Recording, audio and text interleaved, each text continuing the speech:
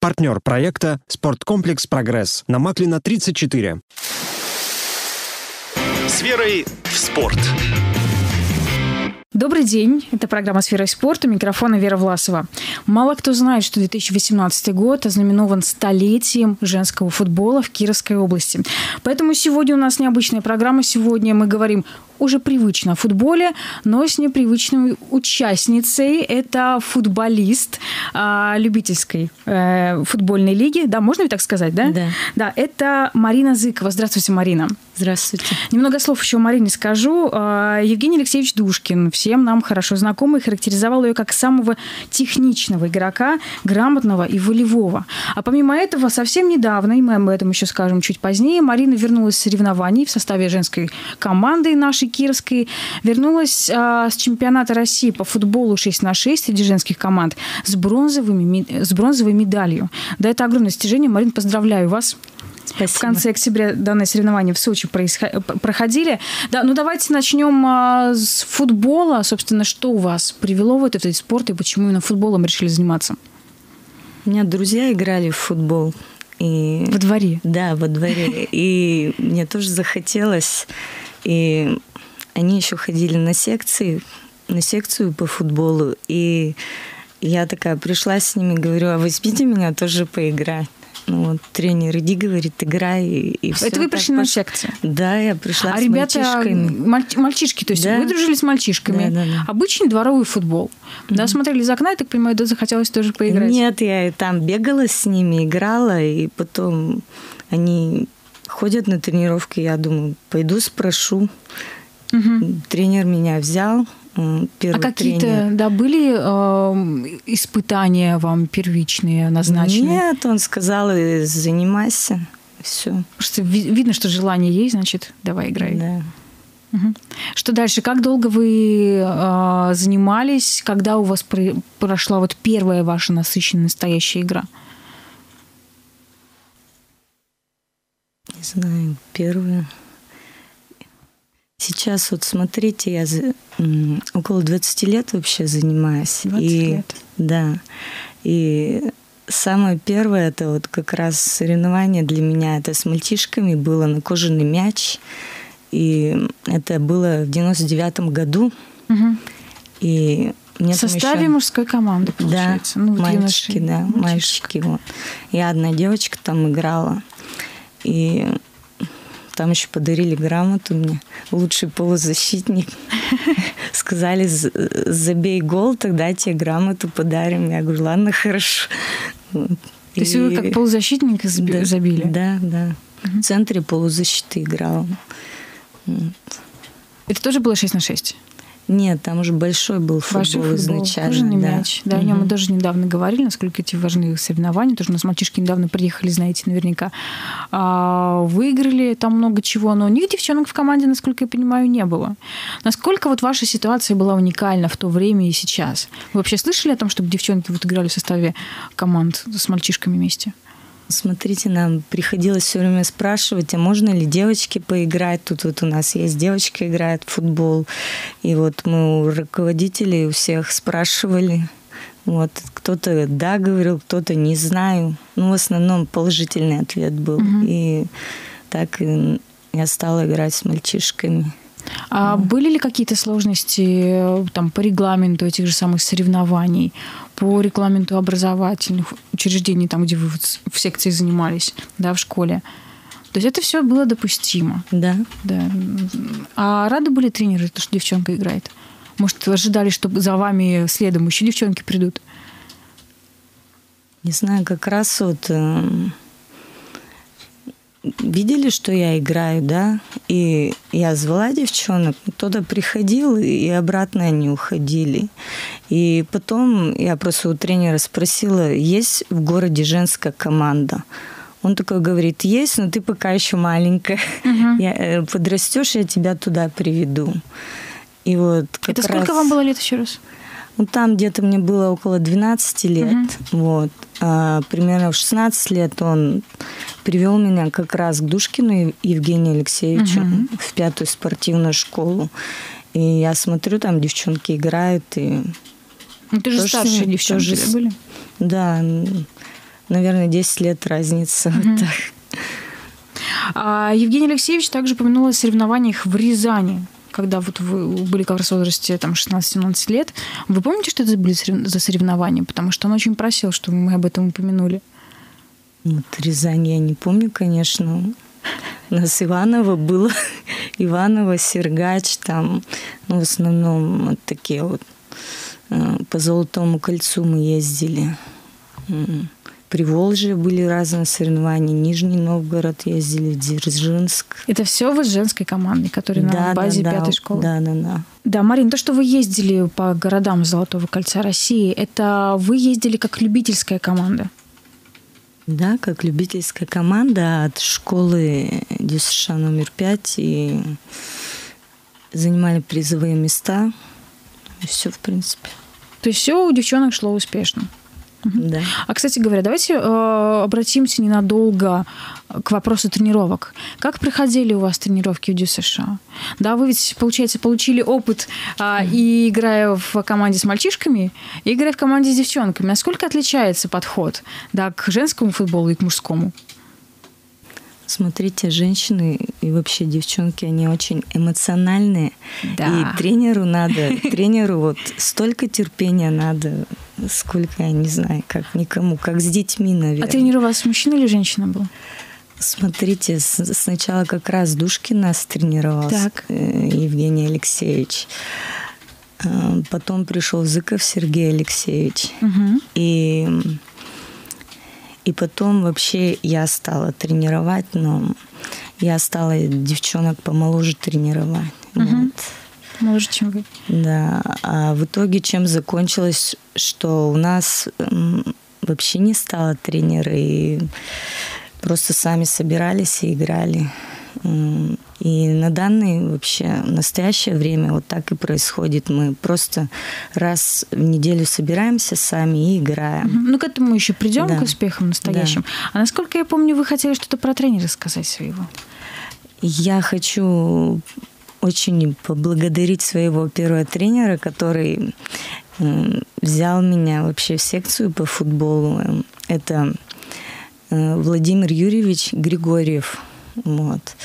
И у него еще недавно день рождения было в декабре. И поздравить, конечно, с днем рождения, пожелать здоровья, счастья и успехов в жизни. Угу. Вообще огромное спасибо ему что он не сказал мне там, иди отсюда там с девочками играй, а Видела, просто взял и все, да. Да, мы тоже, да. Эхо Москвы редакция вся, э, поддерживаем ваши поздравления, присоединяемся к ним в полной мере, тоже желаем здоровья, успехов. А, преподает он еще? Я даже не знаю. Ну, он сам, по-моему, вот играет. А Ой, тогда прям боевого нет. здоровья, духа, побед. Да. да, если есть ученики, послед... ну, последователи в любом случае есть, те, кто заряжаются его энергией, чтобы они с благодарностью ее отдавали тоже. Ну и, конечно же, всяческих успехов. Вот вернемся к тренировкам, да, теми, которые мы начали. Девчонки, вы сказали, что более эмоциональные. Тренеру, да, конечно же, нужно невероятная стойкость нужна, терпение, мужество, да, вы сказали, да. что там преимущественно мужчины у вас были тренерами, чтобы все это выдержать. Да, в плане физической подготовки есть какие-то отличия? Смотрите, в плане физики идет э, то, что все равно женщины не слабее, вот, им просто нагрузку надо уменьшать, ну, дозировку давать меньше. Э, чем, допустим, мальчишкам. А в остальном можно также оставлять. В остальном это в чем тогда поясните? Смотрите, упражнения на технику, там вот это вот э, на физподготовку, то есть можно также оставлять, только дозировку уменьшать, все. Угу. То есть э, женщине сами по себе, вот женский футбол, он просто медленней. Вот, вот. как раз хотела да, спросить. Да, по динамике вот это, это немножечко да, да, медленнее. Идет. Вот. И нагрузки, вот, э, которые тяжелые нагрузки, женщины переносят, конечно, тяжелее. Вот и все. А в чем тогда изюминка женского футбола? Изюминка, наверное, в, в самих участниках, в самих вот э, женщинах, как они там, как они реагируют, когда проигрывают, выигрывают, там вот э, кто-то кричит, кто-то ревет, там, не знаю, кто-то. Да, ради такого стоит сходить на игру, посмотреть, да, как это бывает у футболистов да, чтобы понять, что все, все наверное, не так, довольно-таки спокойно. А, Марин, а, кстати, как правильно, фут... вы футболист или вы футболистка? Я думаю, футболистка надо угу. говорить. То есть все-таки вот, вот так вот себя позиционируете, да, все-таки да. С, с женской черточкой, с женской ноткой. Да. Да, едем дальше. А, итак, мы с вами остановились в вашей карьере футбольной, на том, что участие во всевозможных турнирах в качестве а, юношеской, да, у вас считалась сборная девушек вот от пятой дю США, когда вы ездили по Золотому кольцу? Сборная или вы уже тогда были взрослой? Ну, уже. сначала девочками были, да, потом да. подросли уже. И ездили все время, да. все это время, набирались опыта, набирали себе очки. Да. Угу. Насколько я помню, затем у вас а, возникло желание попробовать себя в профессиональном спорте. Расскажите, как это было? Смотрите, мне... и, и как вообще у вас такое желание появилось? Что вас не устраивало а, в любительской да, системе, которую предложила? Смотрите, у нас в городе нет профессионального футбола, тем более женского. Тем более женского. Да, да. И поэтому мне тренер предложил съездить на просмотр в профессиональную команду. И, и в итоге я поехала в Воронеж и была там на просмотре около месяца. Вот, Давайте там... по порядку. Почему именно в Воронеж поехали? Я даже не знаю, мне тренер сказал, едь в Воронеж, попробуй угу. там себя. Ну, то есть тренер ну, знает, что там, видимо, Да, он, наверное, звонил, как, поэтому звонил, спрашивал, берете ли на просмотр. И угу. когда ему дали положительный ответ, он и сказал мне. А в чем был интерес тренера? Ну, ведь отпускать такого техничного профессионального игрока, ну, это же дорогого стоит.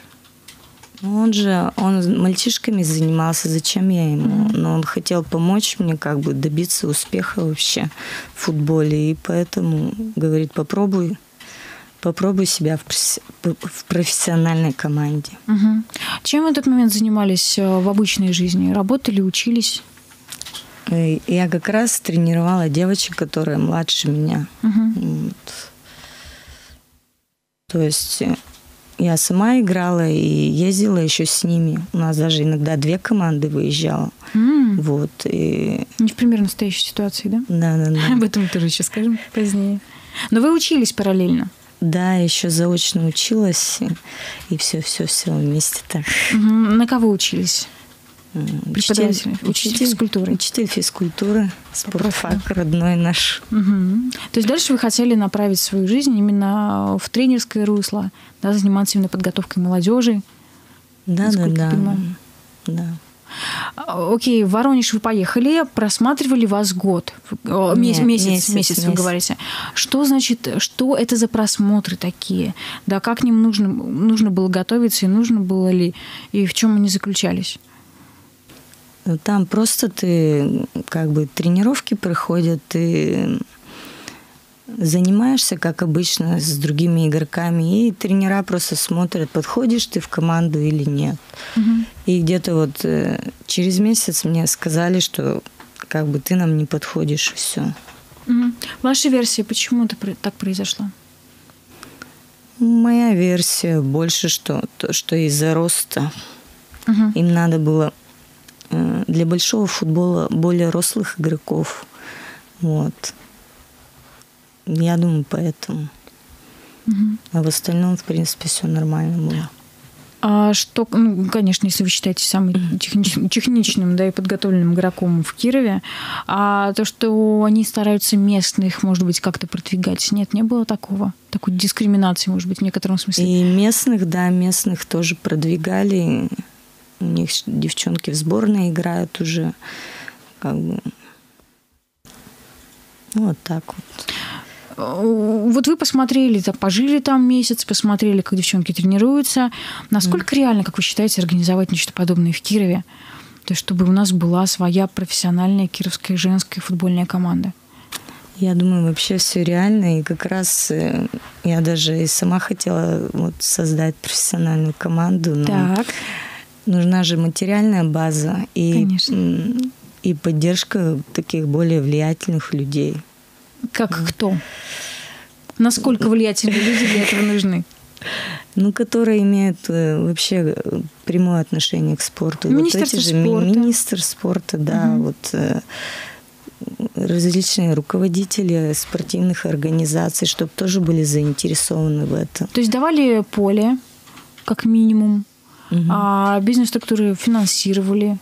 Да, что нужно для финансирования? Форму закупить девчонкам, да, какую-то зарплату им назначить, насколько я Мгм. понимаю, оборудование закупить. Ну, сколько это примерно по деньгам выходит? Я даже не считала, потому что, ну, не знаю, не знаю, не задавалась этим вопросом. Цель, цель, цель только была, чтобы профессиональную команду создать в Кирове Мгм. и вывести ее на достойный уровень. Мгм. А, как вы считаете, есть из кого выбрать сейчас в кировском женском футболе для для создания профессиональной женской команды? И игроки есть перспективные, но вот сейчас тоже у них у всех учеба, работа. Вот, и, вот, о, о чем да, речь. И если, допустим, им бы платили такую же зарплату, как на работе, то они бы ходили с удовольствием и занимались. Мгм. То есть хобби и работа, чтобы у них совпадало. И чтобы платить такую зарплату, нужно понимать, что это все будет как минимум Да. окупаться. Да, хотя бы выходить в ноль. Для этого Мгм. нужно, наверное, не одна команда, да, а несколько, чтобы какие-то соревнования были, была площадка, которая могла бы принимать круглогодично другие команды, и можно было проводить соревнования. Правильно? То есть это очень-очень больших усилий. Но в основном требует. это идет все равно затраты. А окупится это, ну, я не знаю, зависит от результата всегда. От результата той команды, вот нашей да, да, местной да, да, кировской да. профессиональной женской футбольной команды. А, вернемся к спорту практическому, да, через который вы прошли. А, вернувшись а, из а, профессиональной, скажем так, среды, вы сразу приняли решение про- продолжать работу в любительской команде? Или был какой-то период у вас, может быть, когда вы сомневались? Конечно, когда вернулась, сразу же начала просто пр- продолжать также тренироваться. м, Сразу же вернулись к своим. Да, да. Это, была, это был тот же самый состав, да, из которого вы когда-то ушли? Ну, вот для того, чтобы съездить в Воронеж. Да, да, да. В основном то, те же были. Были еще девчонки, которые приезжали, вот, допустим, из, из районов, да, учиться в университетах вот сюда. И они с нами играли, потом Мгм. опять уезжали. Потому что, ну, То есть такая текучка была, да, Да, да, своеобразная да, в команде. да. А много девчонок было в то время вовлечено вообще в футбол? Я думаю, что немного, допустим, нас, нас человек э, 10-15, и плюс там я своих набирала там около 30 человек, ну вот они приходили, и То есть около 50 человек да, я всего. думаю, человек 50, вот если так вот. В любительском Да, да, да, футбольном да. с- м, движении. А 50 человек. За эфиром вы мне рассказали, а, что когда вы ездили а, вот на финальный этап, вообще на чемпионат России по футболу 6 на 6 среди женских команд, вас было сколько? Семь человек. Семь человек. А из других городов были команды. Сколько человек там было? Ну, раза в два больше. Два раза больше. Мгм. А как так получается? Это 50 человек вроде бы в Кирове есть, девчонок, да, поехало только 7.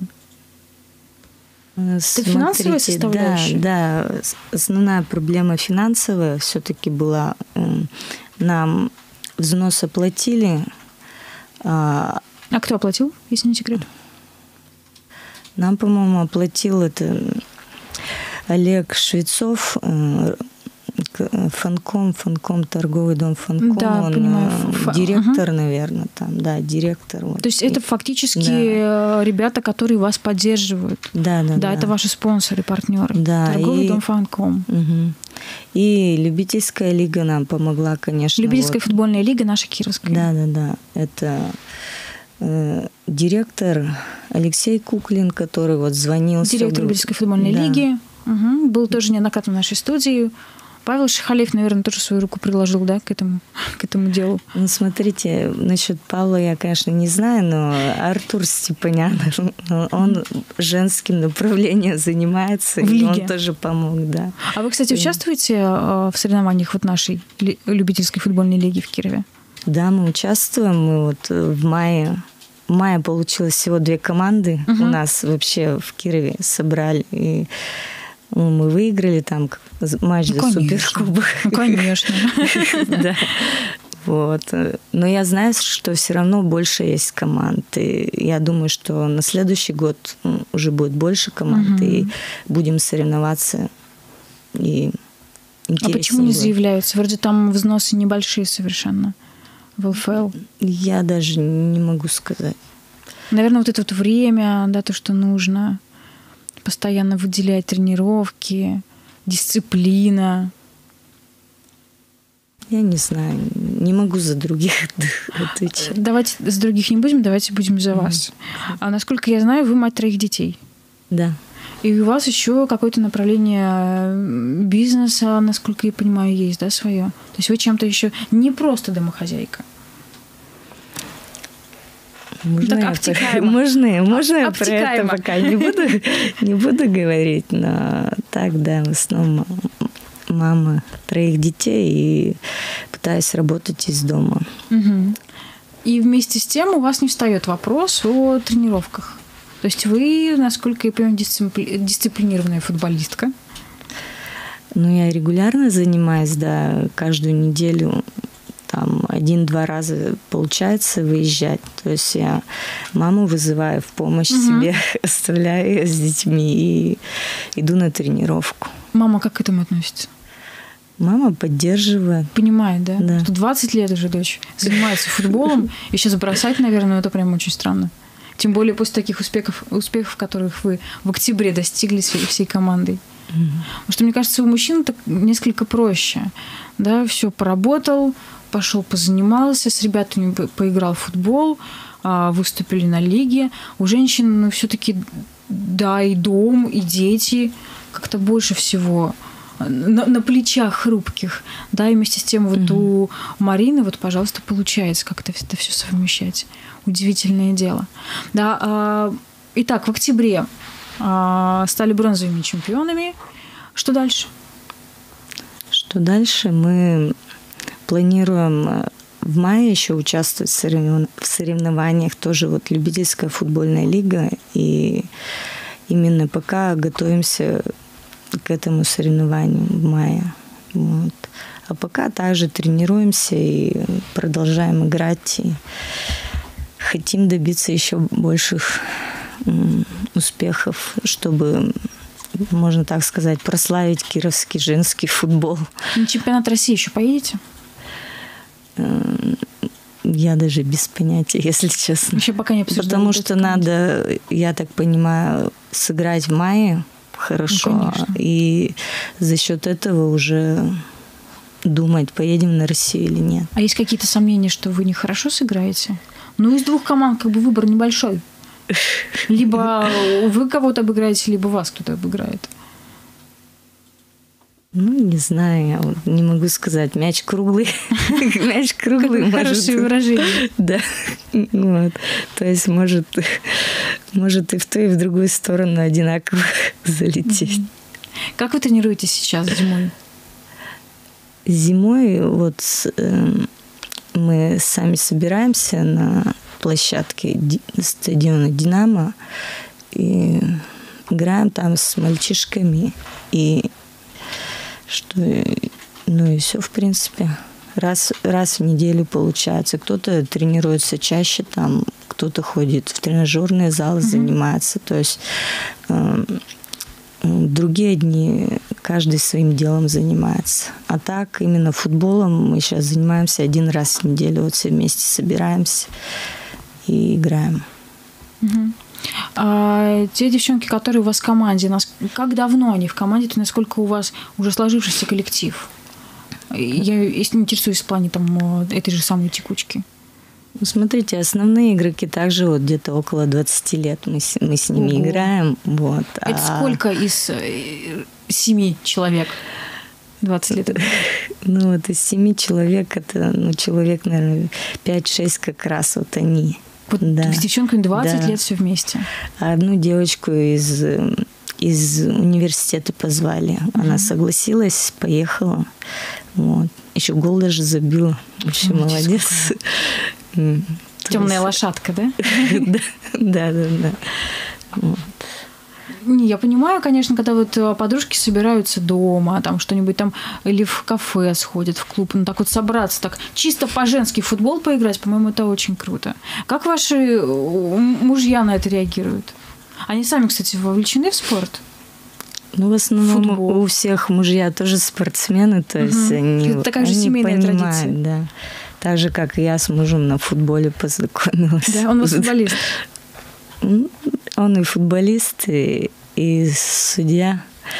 То есть вот так и познакомилась. Ру- ругалась на судей. Вот так мы и познакомились. Это его и зацепило, да? Именно какая роковая Не знаю, женщина. не знаю, не знаю. Да, Марин, а дети у вас а, ск- сколько лет и приобщаете ли вы их к спорту уже сейчас?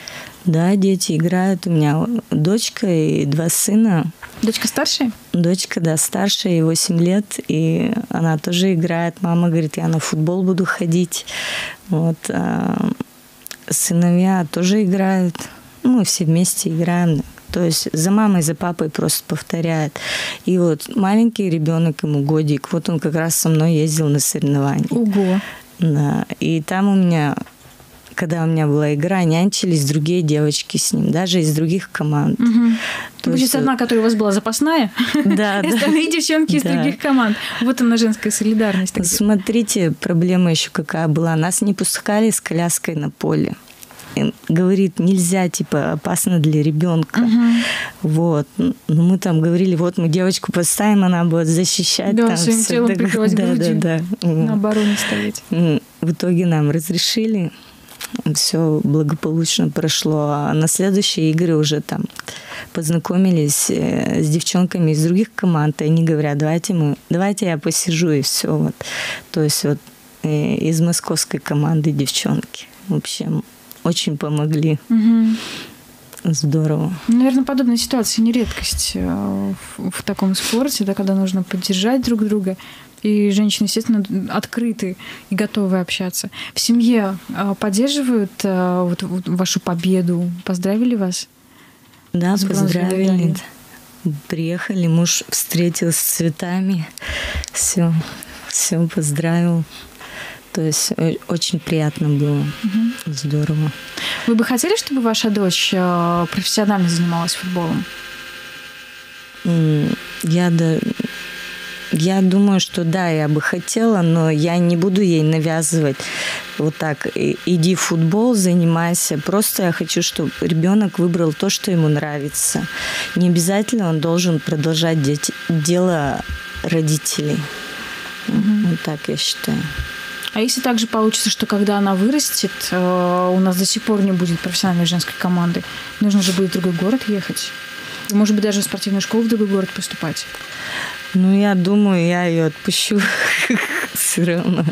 Если речь пойдет Да, о хороших да, контрактах. Да, да, да.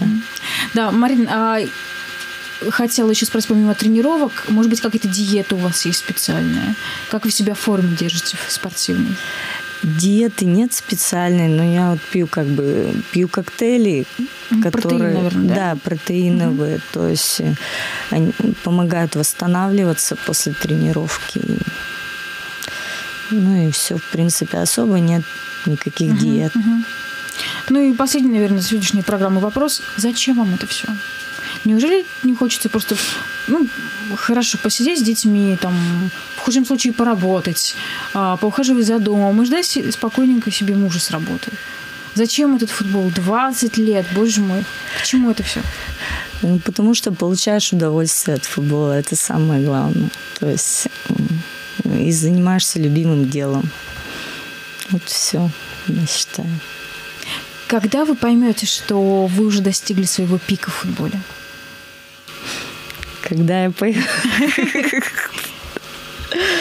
сама даже не знаю. То есть вы ставите себе какие-то цели на будущий сезон?